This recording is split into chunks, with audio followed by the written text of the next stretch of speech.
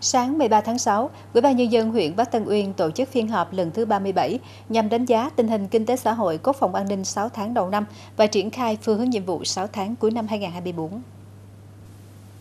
Theo báo cáo của Ủy ban Nhân dân huyện Bắc Tân Uyên, trong 6 tháng qua, kinh tế của huyện duy trì mức tăng trưởng ổn định. Hầu hết các chỉ tiêu về kinh tế xã hội đều thực hiện đạt và vượt kế hoạch. Huyện cũng đã thực hiện tốt công tác đền ơn đáp nghĩa, an sinh xã hội, phòng chống dịch bệnh – đã trao tặng hơn 6.300 phần quà, 27 sổ tiết kiệm, xây dựng sửa chữa 4 căn nhà cho các đối tượng chính sách, đối tượng xã hội, người có hoàn cảnh khó khăn, người cao tuổi, người khuyết tật với tổng kinh phí hơn 4 tỷ 500 triệu đồng. Công tác đảm bảo an ninh chính trị, trật tự an toàn xã hội trên địa bàn được triển khai thực hiện thường xuyên. Trong 6 tháng cuối năm 2024, Ủy ban Nhân dân huyện Bắc Tân Uyên sẽ tập trung thực hiện đồng bộ các giải pháp để tiếp tục phát triển kinh tế xã hội, giữ vững quốc phòng an ninh, đảm bảo an sinh xã hội.